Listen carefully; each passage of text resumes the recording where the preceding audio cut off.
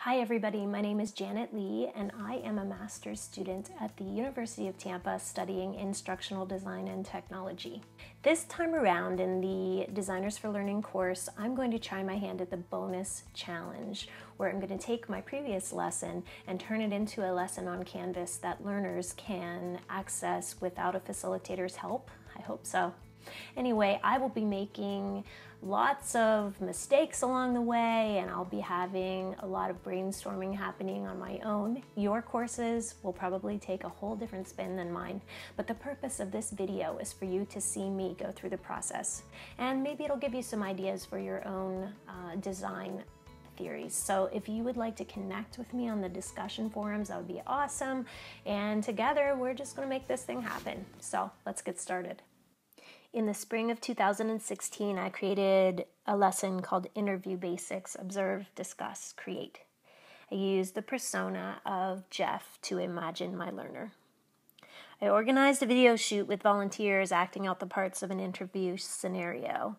I found a subject matter expert and included her best advice about how to answer the really tough question Tell me about yourself.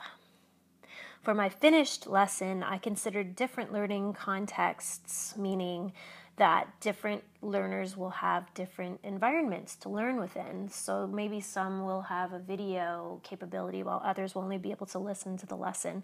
I also added a transcript.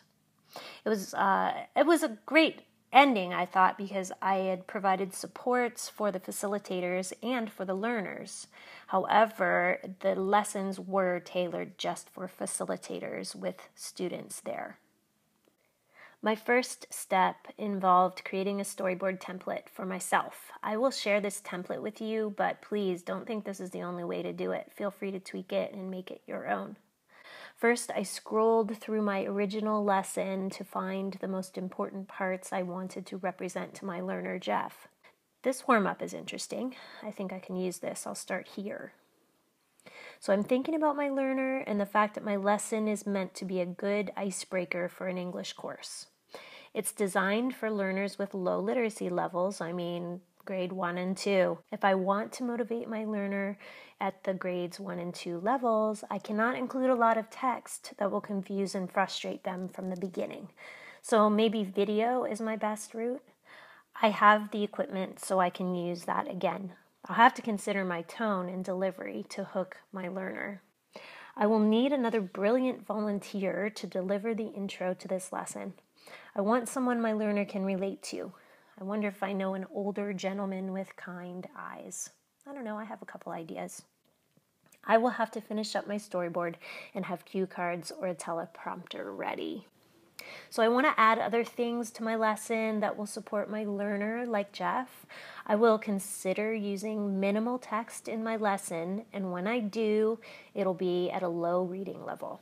So, maybe I can use pictures and screenshots of my previous videos to make this instruction very clear for someone like Jeff. I wonder how I can use the discussion feature of Canvas when my learners will struggle with writing too. I'll check back as I go along and I'll be here for your lessons too. Let's create something meaningful together as we gain experience for good.